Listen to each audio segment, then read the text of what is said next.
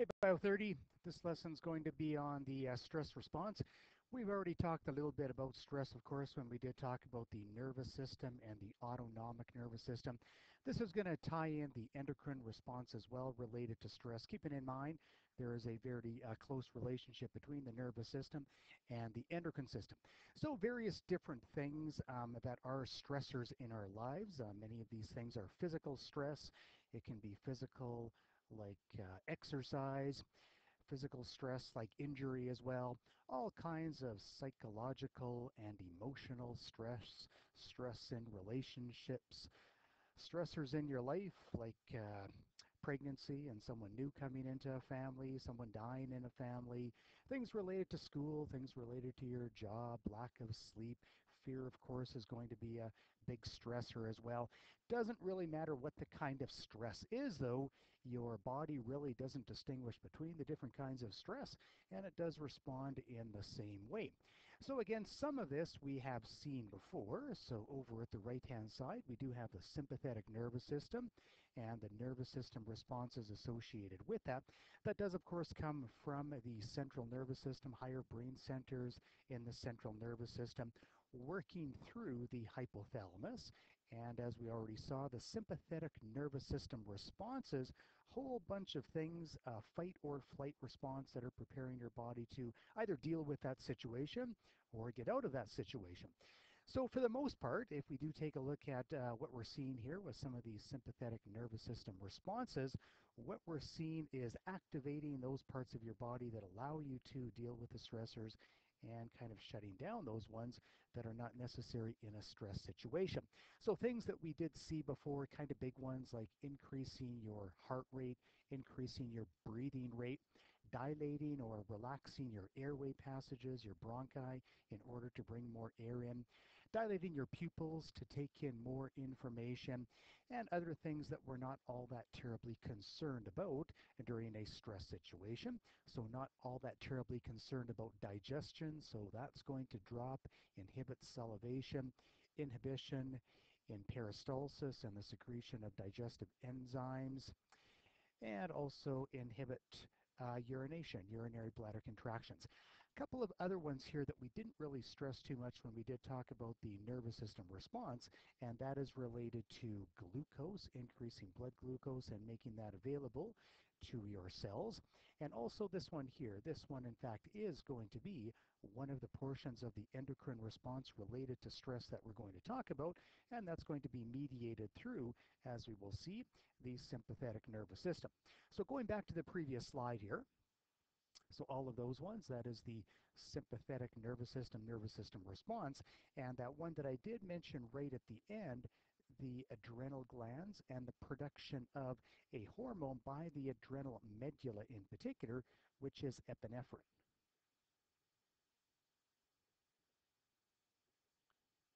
So epinephrine is a major stress hormone. It is a hormone that is produced by the adrenal medulla. And what the adrenal medulla um, receives in order to produce that hormone is the sympathetic nervous system message that's coming directly from the central nervous system. So if we do take a look at this picture that I have in the middle here, we can see that the adrenal glands, they do sit on top of the kidneys and the adrenal gland is kind of divided into two different parts. The one that we see on the right-hand side of this diagram dealing with the adrenal medulla is the inner portion inner portion of the adrenal gland. That is the adrenal medulla, and it is that portion that is going to be producing the epinephrine. So once again, why the adrenal medulla is producing the epinephrine is because of neurons, because of stimulation coming from the sympathetic nervous system. On the left-hand side of this diagram, we have something else that's taking place, the production of another stress hormone. And this other stress hormone at the bottom that's produced by the adrenal cortex in this case is going to be a cortisol. At least that's the major one that we talk about is the cortisol.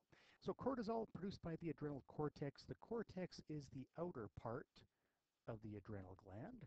And the adrenal cortex is one of those portions in the body, one of the very few, that is producing steroid hormones. So cortisol is a steroid hormone, as opposed to epinephrine, which is a protein hormone. In order to get the cortisol being produced, the adrenal cortex is not directly stimulated by the sympathetic nervous system. Instead, if we go back up to the top, higher brain centers again are going to influence the hypothalamus and they're going to tell the hypothalamus to produce a tropic hormone. And this tropic hormone is a releasing hormone. It goes by the name of adrenal corticotropic hormone releasing hormone, or sometimes just more simply, corticotropic releasing hormone. So if I write the abbreviations for those, ACTH and then the RH for releasing hormone. Again, this is adrenal corticotropic hormone releasing hormone. The other name that it goes by is simply corticotropic releasing hormone or CRH. They are one and the same thing. They really only do one thing. They are produced by the hypothalamus and they target the anterior pituitary, a tropic hormone. It tells the anterior pituitary to in turn produce a second tropic hormone, which happens to be ACTH, adrenal corticotropic hormone. This hormone, as the name implies, adrenal cortico deals with the adrenal cortex.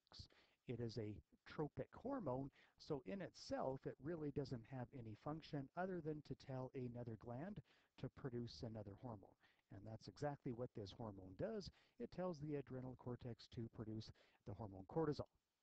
All of these are kind of taking place at the same time. The sympathetic nervous system response and all of those effects that we saw directly associated with the sympathetic nervous system are extremely rapid. So even if we just take a look at something like heart rate, it is almost immediate the impulse, the message coming from the sympathetic nervous system going to the heart, leading to an increase in heart rate. The sympathetic nervous system stimulating the adrenal medulla, producing the epinephrine, will also increase the heart rate, but now we have to have this hormone being produced, released into the blood, circulating around, finding its target, the heart cells, and increasing the rate of contraction. So although it might be doing the same thing, it takes a little bit longer than the nervous system, strictly the sympathetic nervous system response. Everything kind of on the right hand side here, all of these that I will circle, all of this is sometimes referred to as the short-term stress response. It allows your body to, well, deal with short-term stress. If you are dealing with stress for a prolonged period of time, so it might be over tens of minutes or hours, or even much longer than that, days or weeks, then this one here more so comes into play. So this is often referred to as the long-term stress response. And it takes a little bit longer. So we saw with the epinephrine, it takes longer than the sympathetic nervous system response because it does involve the release of a hormone. On the left-hand side, of course, now we have this sequence of three different hormones, three different glands that are involved to get the eventual production of the cortisol, and uh, that one does take a little bit longer as well. So these two hormones, uh, in terms of their effects, their responses, in some cases, as we'll see, they're going to be similar, and in other cases, there will be some uh, slight differences between them, and also between epinephrine, the adrenal medulla hormone, and the sympathetic nervous system. Many of the responses are really going to be supporting each other. So epinephrine enhancing the responses, in many cases that we already see, that were the result of the sympathetic nervous system.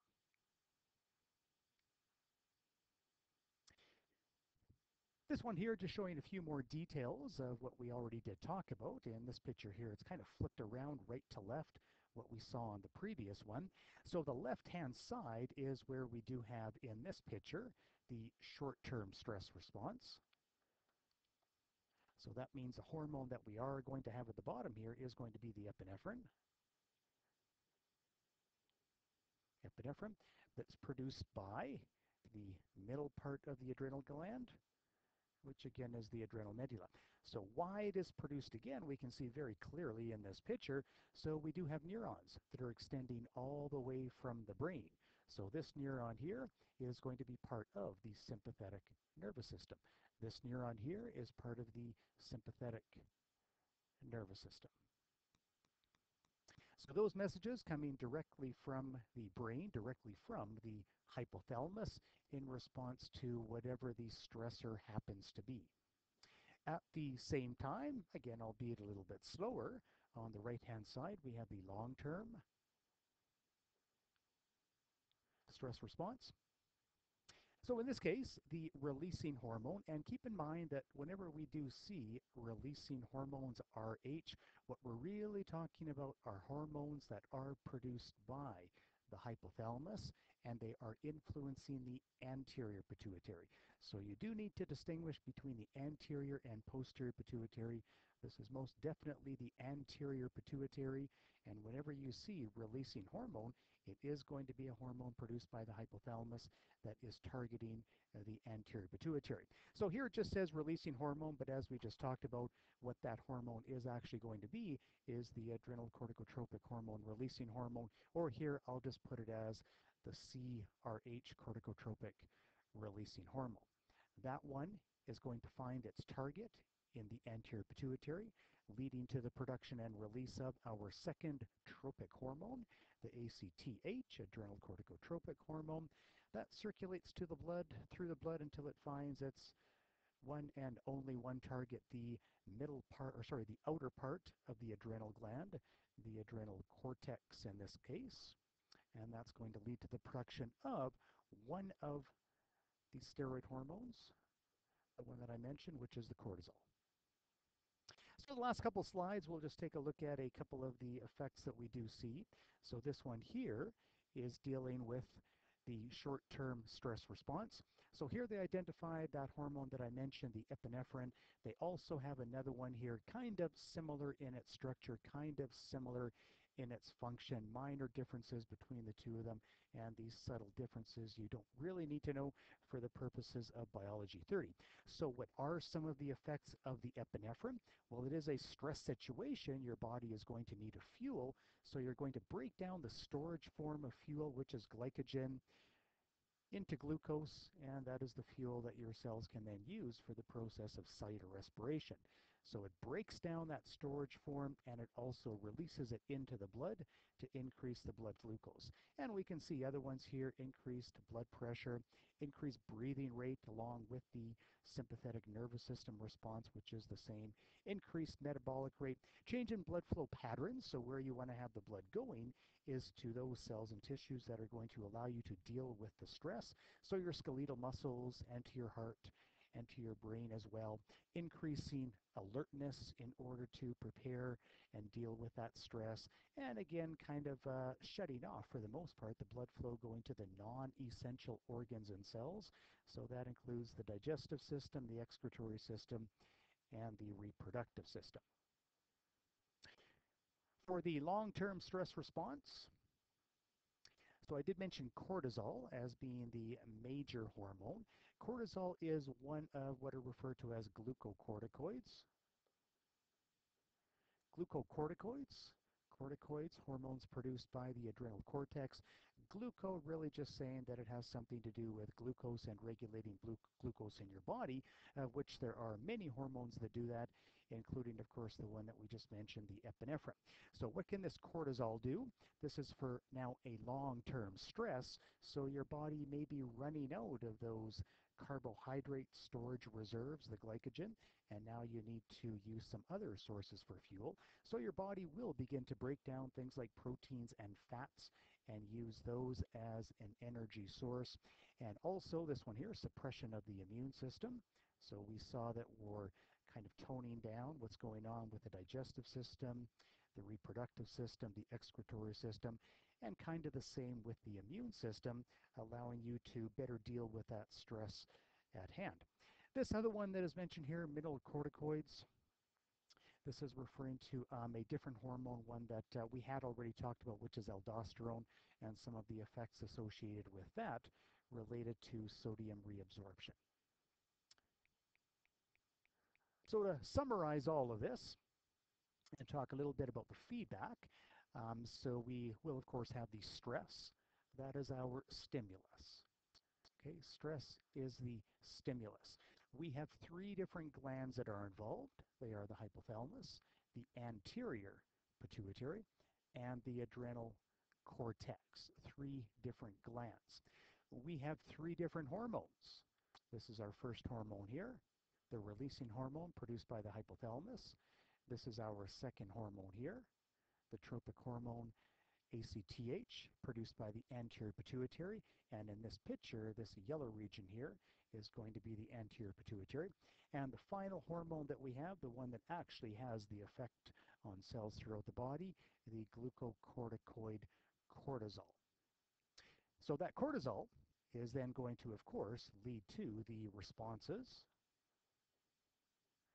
that we saw on the previous page maintaining blood pressure maintaining blood glucose those are some of the effects of the cortisol. And finally, once there is a sufficient amount of that cortisol circulating around, keep in mind all of this does have to do with maintaining homeostasis. So once there is a sufficient amount that is circulating around and it reaches a high enough concentration, there will be receptors that we do have on the hypothalamus and receptors that we do have on the pituitary as well, the anterior pituitary. And that cortisol, which is circulating around, that will bind to the target cells and lead to a response is also going to feed back and bind to receptors in the anterior pituitary and in the hypothalamus and what it's going to do is have the negative feedback.